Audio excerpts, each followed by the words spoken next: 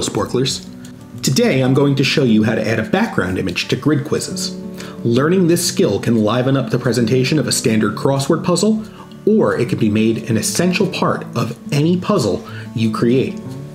For today's example, we'll be making a crossword puzzle with a background image that fits the theme of that puzzle. First, we need to actually create the quiz. Click on the Create tab, and then select Create a new quiz. When you are at the Create a new quiz screen, select the grid type. As always, a grid size box will pop up. We don't know how big this puzzle is going to be, so for now we'll leave it at 12 by 12. Give ourselves a quiz name, and click Create. Once we get to the quiz creation screen, you'll notice that there's a spot for quiz image URL right there.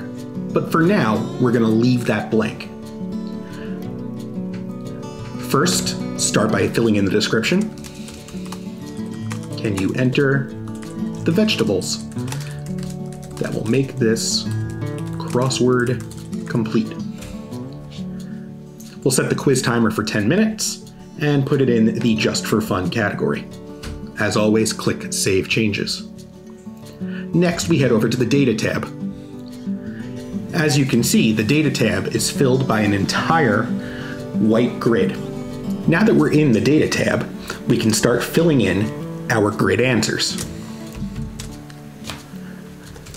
So I'll just put carrot and cabbage broccoli, bok choy,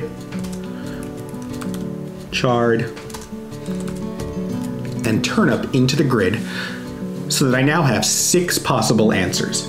That's not a lot for a grid quiz, but it'll do for this example. The next thing we're going to do is we're going to remove or deactivate all of the cells that are not used as part of the puzzle.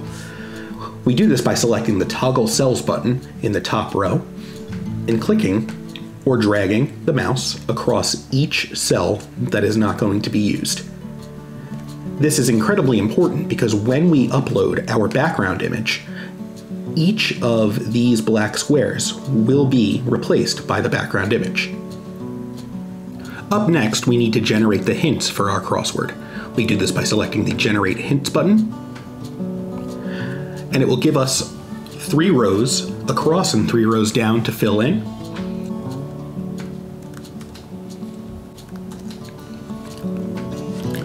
And voila, we now have filled in all six clues.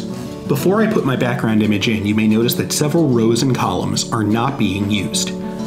We can fix that by going to the Grid Extras button, right above where our clues are generated, and changing the grid size. Now I have a grid that's 9 by 10 and uses every column and every row at least once. Now it's time to upload our image. When selecting an image, it is very important that we find something that fits the proportions of the grid we're working with. Since this grid is 9 squares wide by 10 squares long, we're going to need to find an image that is 9 by 10 in proportion. For this background, I found an image that I have cropped down to 360 by 450 pixels. Even though that's not the exact size of the grid, Sporcle software will stretch the image out so that it fits the constraints of the actual puzzle on the website. I just simply copy the image address, go to the Quiz Edit tab, and enter it in the quiz image URL click Save Changes, and then when I go back to the Data tab, my image is now in the background of my crossword puzzle. And it looks so much more interesting and vibrant and pops off the page. Now, when we go to test the quiz, we can see that it's complete with our clues, our background image, and our filled in crossword. We're ready to go. And by practicing this way, we can use these skills to make more complicated background images that are necessary for the solution of that puzzle. With Photoshop skills and planning, you can create puzzles like this in no time flat. That's it for today, Sporclers. If you have any suggestions for future how-to videos, please leave them in the comments. Don't forget to subscribe to the Sporcle YouTube channel and like this video. Thanks for watching, and happy sporcling.